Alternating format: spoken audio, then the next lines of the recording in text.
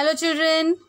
Okay, now let us move towards English uh, supplementary readers uh, lesson number 6 The Making of a Scientist, which is a biography of Richard Ebright, a scientist, uh, and it is written by Robert W. Peterson.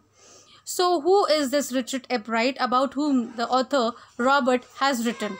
Richard Ebright has received the Searle Scholar Award and the uh, Plough Award for uh, biochemistry and molecular biology.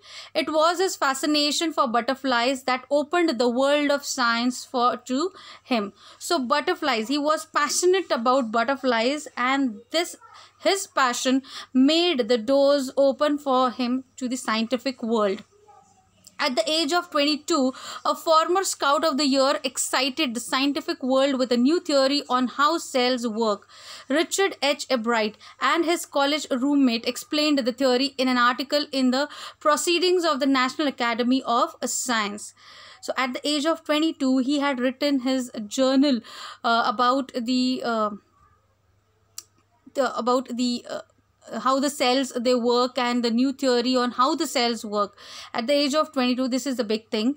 Okay in uh, the this they wrote an article in the proceedings of the national academy of science. It was the first time this important scientific journal had ever published the work of college students in sports that would be like making the big leagues at the age of 15 and hitting a home run your first time at bat so what is this? What does this mean? So if you can see the star uh, on at the bottom of the page what is this home run? A home run in the game of baseball is when the batter scores a run after running safely around all bases and back to the home plate player plate without stopping. A ball hit uh, hit out of the playing field is also called a home run. Getting a paper published at the age of 15 in a scientific journal is here compared to scoring a home run while batting for the first time. This means that a child who is merely 15 years of age got uh, his uh, paper, an article published uh, in the National Academy of Science was a big thing. Okay, it, it was like scoring a home run. It's a big achievement. So his achievement has been uh, compared to uh, to score home run over here. For Richard Ebright, it was the first in a long string of achievements in science and other fields.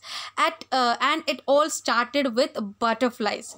An only child, Ebright grew up north of Reading, uh, uh, Pennsylvania, uh, there wasn't, okay, Pennsylvania, it's a name of a place where he used to stay. There wasn't much I could do there, he said. I certainly couldn't play football or baseball with a team of one, but there was one thing I could do collect things so he was not a sport person he was not made for any kind of sport okay so he was not also a person who could work with others in a teamwork in that way but what he could do good uh, best was to collect things. So he did. And did he ever? Beginning in kindergarten, Ebright collected for butterflies with the same determination that has marked all his activities. He also collected rocks, fossils, and coins. He became an eager astronomer too, sometimes stargazing all night from the first he had a driving curiosity along with uh, with a bright mind. He also had a mother who encouraged his interest in learning. She took him on trips bought him telescopes microscopes cameras uh, mounting material and other equipment and helped him in many other ways. So who was a supporting pillar for mr ebright richard ebright was his mother. What she did she supported his uh, passion uh, by help uh, by uh, providing him um, telescopes, microscopes, cameras, mountaining materials and other equipment which helped him in many other ways. I was the, uh, his only companion until he started school, his mother said. After that, I would bring home friends for him. But at night, we just did things together. Richie was my whole life after his father died when Richie was in third grade. She uh, and her son spent almost evening at the dining room table. If he didn't have any uh, have things to do, I found work for him.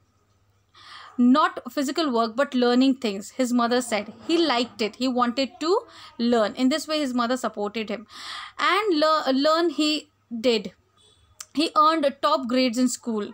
On everyday things he was just like every other kid his mother said. So richard was a brilliant uh, student in other subjects also. By the time he was in the second grade ebright had collected all 25 species of butterflies found around his hometown. So if you can see the list over here in this table these are the uh, this is the list of uh, those butterflies which he had collected when he was just uh, in grade uh, 3 so what is this? Gossamer, winged butterflies, wood nymphs and star satyrs, monarchs, whites and sulf sulfurs, brush-footed butterflies. So these are the kinds and variety and species of butterflies which he had collected. That probably would have been the end of my butterfly collecting, he said. But then my mother got me a children's book called The Travels of Monarch 10. That book, which told how monarch butterflies migrate to Central America, opened the world of science to the eager young collector. So, collecting uh, these uh, 25 species of uh, butterflies at the uh, when he was in grade 3 he thought after that his, finding his collecting things uh, butterflies would have stopped if his mother would not have presented him the book called uh, children's book called the travels of monarch 10 in that book uh, it is told to the collectors of butterflies that how monarch butterflies they migrate to central america. And this book opened uh, the world of science to this eager young collector. At the end of the book readers were invited to help study butterfly migration.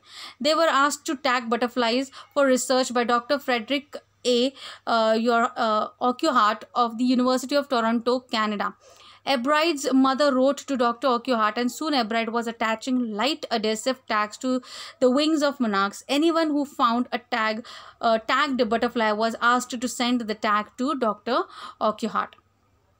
So what was given in the uh, at the end of uh, that book which his mother presented him that the readers were the readers of that book were invited to study butterfly migrations. They were asked to tag butterflies for research by dr uh, frederick uh, Urquhart of university of toronto canada.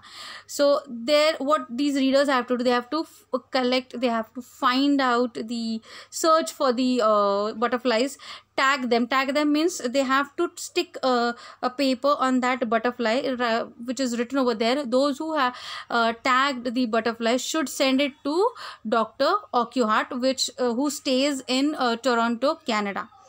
So in this way he started tagging those butterflies which he caught uh, at that time.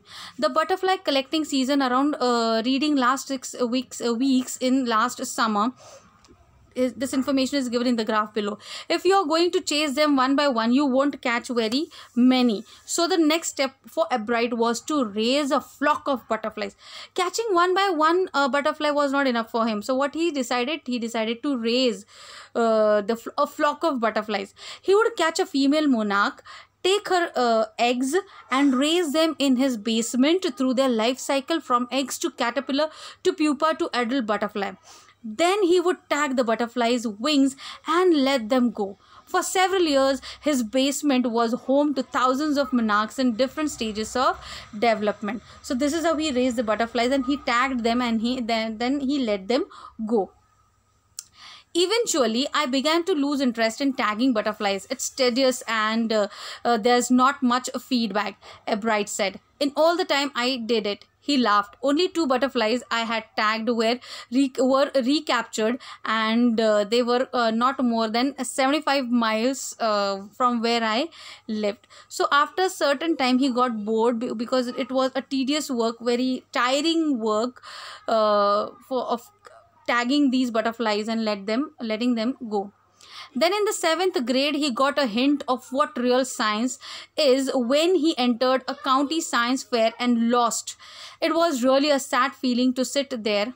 I'm so sorry till here I was supposed to teach you people in this video. Always I uh, get carried away with the lessons and I continue.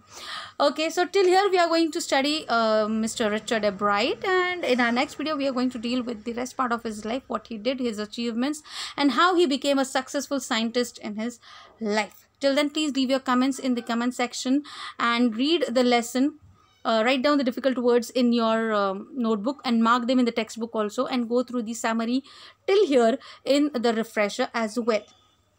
Till then bye